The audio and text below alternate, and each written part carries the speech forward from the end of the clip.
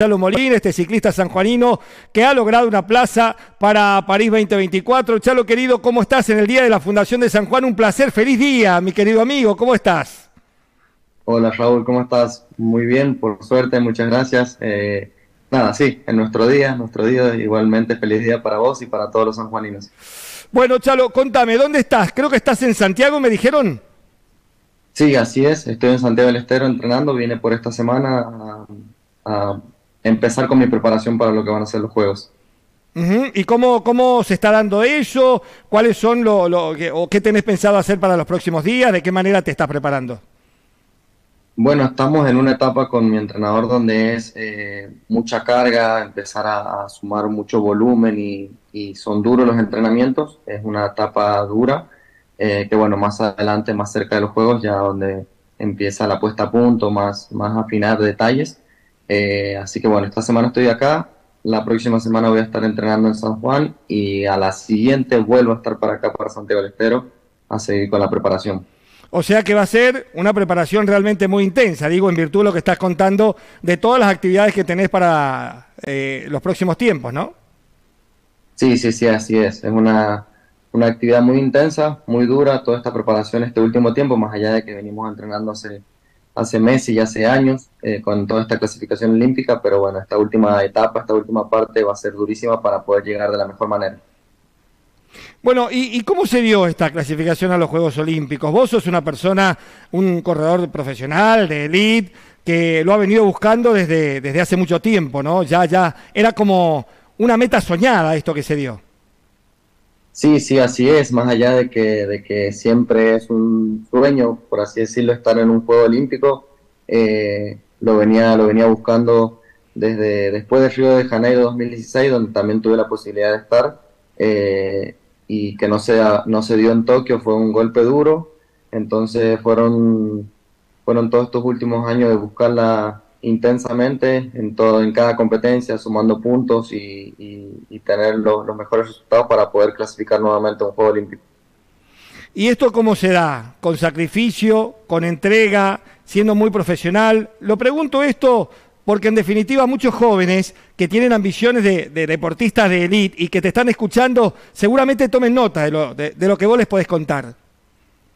Sí, sí, sí, totalmente. Creo que como en el deporte, como, como en todo, en una carrera universitaria, en un trabajo, en, lo que sea en la vida que uno quiera, quiera lograr, quiera ponerse un objetivo y, buscarlo, eh, es eso, ¿no? Es constancia, disciplina, eh, mucho esfuerzo, trabajo duro y, y, soñar siempre en grande, buscar ese objetivo que, que uno, que uno anhela y, y nada, no darse por vencido como, como me pasó a mí en el caso de que de que me quedé afuera de Tokio, con un golpe duro, como dije recién, pero nunca me di por vencido, seguí luchando todos estos años y hoy nuevamente se, contento de que se dé una nueva clasificación olímpica. Además, el ciclista argentino mejor clasificado en el ranking UCI, eso, eso es un orgullo para vos particularmente. Sí, sí, sí, totalmente. Siempre tratamos de estar lo más alto posible representando al país y a San Juan, así que siempre, siempre es un orgullo poder representar la, celeste y blanca.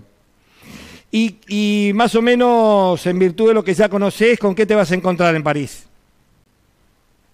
Bueno, obviamente con todos los demás pilotos nos conocemos, sabemos bien eh, qué clase de piloto es cada uno, em, pero bueno, eh, hoy en día el, nivel está súper alto y súper parejo, eh, es un deporte de, situación, de contacto, entonces no siempre gana el mismo, se puede dar cualquier situación, pero sí, obviamente sabemos que, hay algunos que por ahí últimamente han tenido buenos resultados. Está el campeón olímpico, que hoy es el número dos del mundo. Está un francés, que es el último campeón del mundo.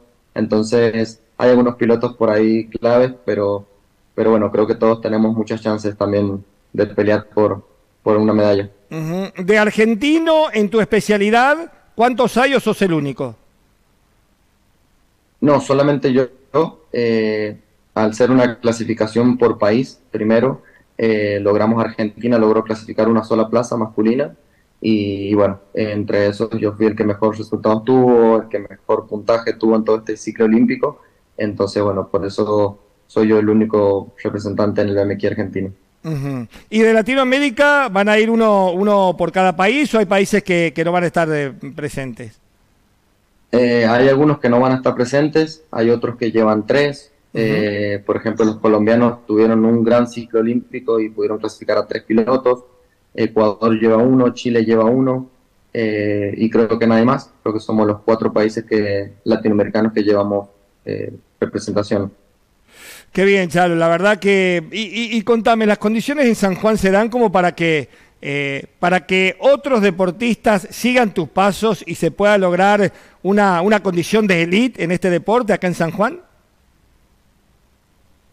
Bueno, tenemos eh, grandes, grandes un gran semillero en San Juan, grandes deportistas que, que tienen mucho futuro.